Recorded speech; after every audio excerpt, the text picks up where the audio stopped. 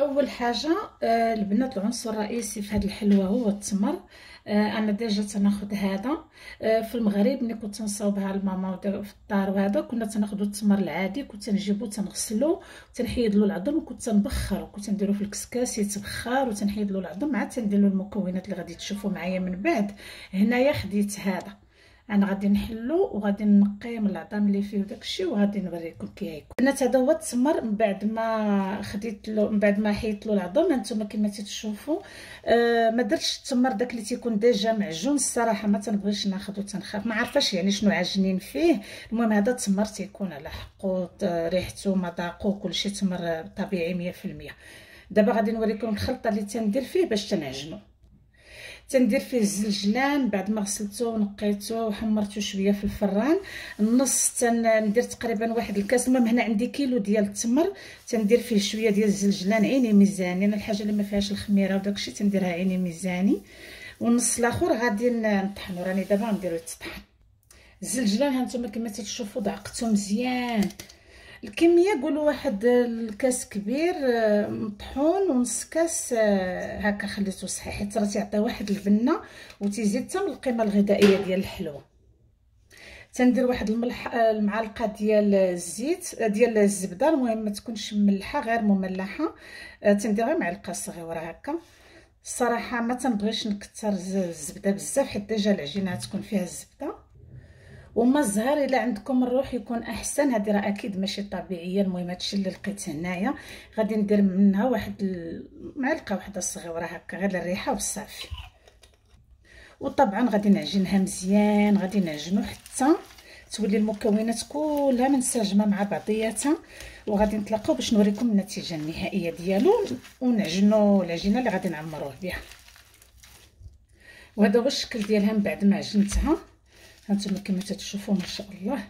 والمذاق ديالها غزال. عرفتي الزلجلان كيمشى مع التمر. ما نقول لكمش يلا دابا غادي ننتقلوا نوجدوا العجينة ديالها. نكورها بعدا نديرها كبورات نوجدها ومن بعد نوجدوا العجينة. شفتي كي دايرة؟ البنات وهذا هو الشكل ديال التمر ديالنا من بعد ما شكلناه. يعني راه ما تنطولش عليكم مي تنبغي نوريكم التفاصيل ما تندخل عليكم حتى بشي حاجة. المهم هذا هو الشكل ديالو. دابا غادي نديرو العجينة. المهم الشكل ديالو تيلمع غزال بنين ما نقولكمش تاكلوه غير هكا. بالنسبة للعجينة هذه المقادير ديال كيلو ديال الطحين. تندير نص كيلو ديال الزبدة يعني كل كيلو ديال الطحين بنص كيلو ديال الزبدة. خويت أنا هاد العلبات هادو ما بغيتش نطول عليكم. درت جوج ونص يعني هذه 200 غرام درت 250 غرام. كيلو ديال الطحين نص كيلو ديال الزبدة. تندير عليهم خمسة المعالق ديال السنيده بهذه الطريقة هذه واحد جوج ثلاثة أربعة. يعني كما تلاحظوا تنديروا السكر بزاف حيت déjà التمر راه حلو آه الحلويات نديروهم ناكلوهم ونحاولوا ما أمكن ما أمكن ما أمكن نديروا فيهم شي حاجة تكون فائدة. وخمسة المعالق ديال الزيت. هادو دابا جوج تقريبا. ثلاثة أربعة خمسة. يعني كل كيلو ديال الطحين بنص كيلو الزبده خمسة المعالق الزيت خمسة المعالق السنيده ونكتب لكم إن شاء الله المقادير في صندوق الوصف. تتوجدوا حداكم الطحين لأنه غنبقاو نضيفوه شوية بشوية. درتو في الغربال. دابا هذه خاصنا نحكوها هاد الزبدة هذه تحك يعني غادي نحكوها مزيان حتى تعجن حتى نحسوا بداك السنيده دابت حيت أنا وحدة درتها باكيه زدتها من الثلاجة غادي نحكها. حتى داك الزبدة تذوب مابقاش حاسة بالسنيده حرشة. وداك الساعات عاد غنبقى نزيد الطحين. هانتوما شتي ولات دابا بحال الكريم؟ راه بعض الدول تيديروا السمن. حنا تنديروا في المغرب الزبدة. الدول السوريين اللبنانيين المصريين تيديروا المعمول تيديروه بالسمن ما تيديروش فيه الزبدة. حنا تنديروه بالزبدة الطعم ديالها تيجي بنين. دابا غادي نبقى نزيد آه ما تجيش المذاق ديالو مجهد بمعنى آخر. دابا غادي نبقى نزيد الطحين شوية بشوية بهذه الطريقة. وأنا تنعجن يعني بهذه الطريقة غنبقى نجمعو شوية بشوية شوية بشوية وأنا تنخدمها حتى تجمع لي كامله المهم كيلو كامل خاصو يدخل في هذا الخلطة.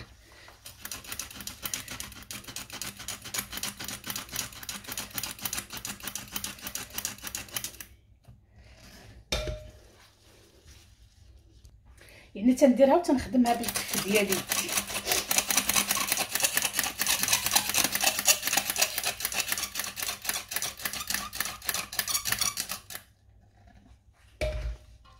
بهاد الطريقة هذه تنبقى نحس بها بحال الكريم تقريبا دابا درت نص كيلو ديال الطحين شوفوا كي ولات. مزيانه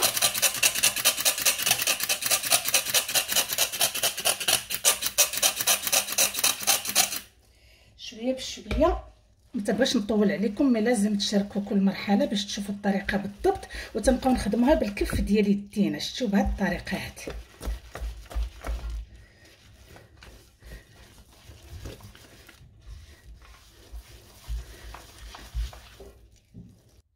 دابا تقريبا واحد الكيلو إلا ربع ديال الطحين اللي درت. صافي دابا هذا آخر ربع هانتوما كما تشوفوا غادي نديرو.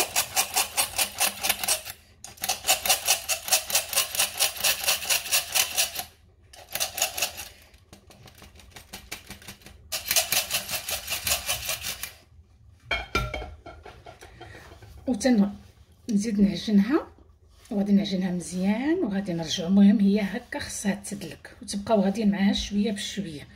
وتتعجن سبحان الله مزيان فهمتي كل جو شوية سخون ولكن أسهل حاجة هي تعجن في الجو بارد باش ما تكونوا تتشكلوها ما تذوبش معاكم. غادي نخدمها مزيان وغادي نجمعها ونتلاقاو.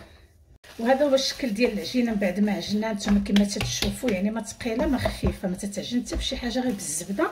غادي نديرها في حديشه ديال ميكا نقية أو plastic foil أو آه، film alimentaire غادي نغطيها وغادي نخليها حدايا وننتقلوا دابا باش نشكلوها.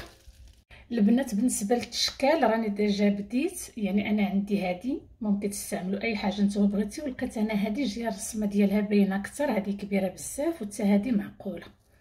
غادي ندير معكم دابا شي وحدات طبعا تنشكلوهم راكم شفتوا العجينه تبارك الله رطبة بالزبدة اللي فيها. هذه وحدة تجريبية الناس باش تشوفوا يعني الطريقة بالضبط.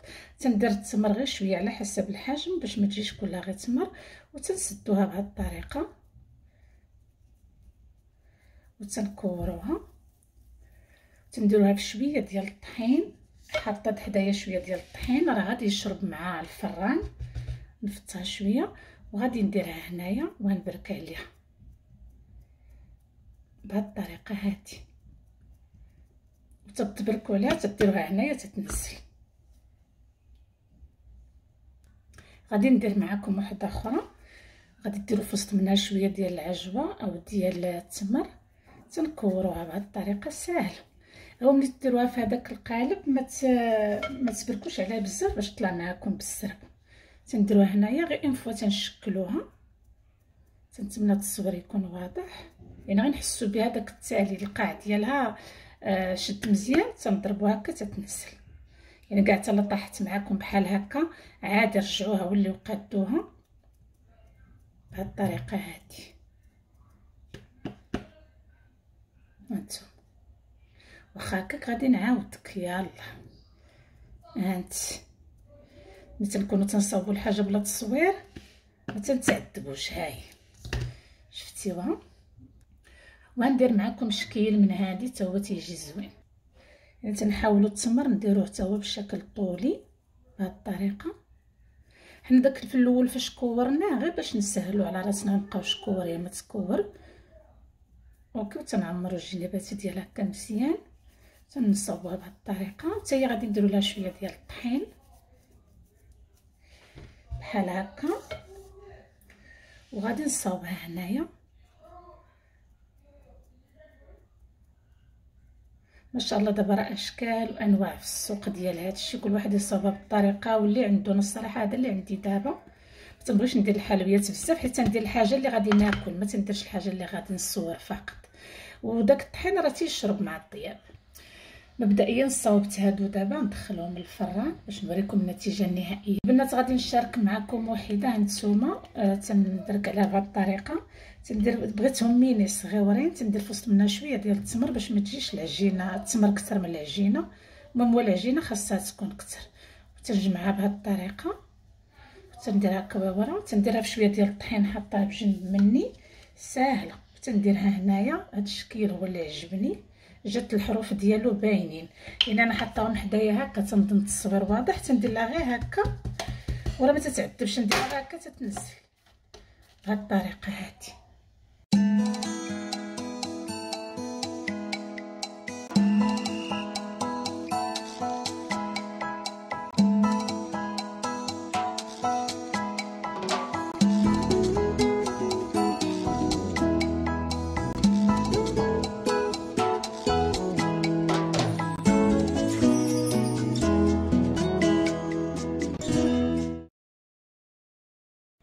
وهذا هو الشكل النهائي ديال المعمول ديالنا. هذا معمول بطريقتي أنا كل واحد تيدير الحاجة اللي تعجبو اللي ياكلوها مالين الدار. كما تتشوفوا ما درتش فيه السكر. راني عارفة تندير فيه السكر mais حنايا السكر ديال التمر كافي. يعني الأساس عندي وأنا كل واحد الحاجة اللي ما درناش تنتمنى هاد الطريقة ديالي تعجبكم وتنال الإعجاب ديالكم. ولكن راه 100% ناجحة. وان شاء الله تجربوها. يعني كنت نديرها لماما زمان قبل ما نتزوج كنت باقا صغيرة. هذه هي اللي كنت ندير لها. وان شاء الله تعجبكم. وإلى اللقاء في طبق ثاني ورمضان مبارك سعيد.